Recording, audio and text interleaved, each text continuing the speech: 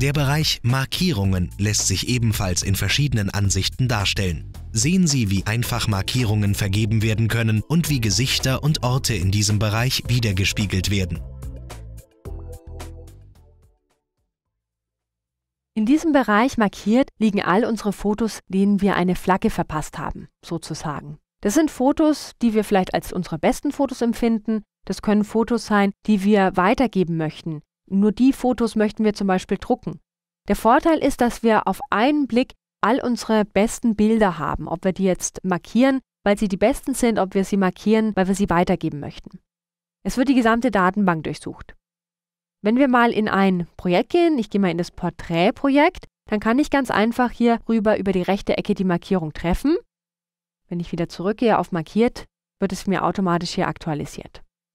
Ich gehe mal auf Indien und natürlich können wir auch Videos markieren. Ich gehe wieder zurück zu markiert. Ich zoome hier mal raus und habe hier also auch mein Video. Wir haben die gleichen Ansichten, die wir auch innerhalb unserer Projekte und Objekte haben wie die geteilte Darstellung, den Viewer und wir können sogar Gesichter einblenden lassen. Und dann sehen wir sogar ein Bild. Im Unterschied zu den Gesichtern allgemein habe ich also hier jetzt nur ein Bild auf der Pinnwand. Wenn ich hier mal reingehe, sehe ich auch wirklich nur ein Bild von Tom. Das ist nämlich das Bild, was markiert ist. Also man bekommt auch unter dem Bereich markiert wieder die Möglichkeit, nach Gesichtern zu suchen, die diese Markierung haben.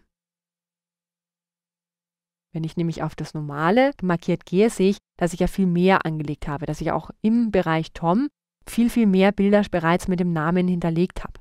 Ich gehe wieder zurück zu markiert und in meine Orteansicht. Auch die Orteansicht bekomme ich hier angezeigt und wenn ich das Ganze mal aktiviere, sehe ich nämlich, dass diese Bilder, die die GPS-Daten aufweisen, ebenfalls die Markierung zeigen.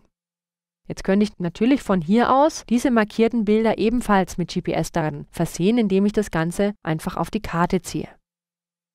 Also man sieht, dass alles mit allem spricht. Das heißt, obwohl ich jetzt hier innerhalb dem Bereich markiert bin, kann ich trotzdem meine GPS-Daten hinzufügen. Ich kann hier meine Namen hinzufügen bzw. die Gesichter anzeigen lassen, die markiert sind und natürlich jederzeit in meinen Browser zurückkehren, um eine Gesamtübersicht all meiner markierten Bilder zu bekommen.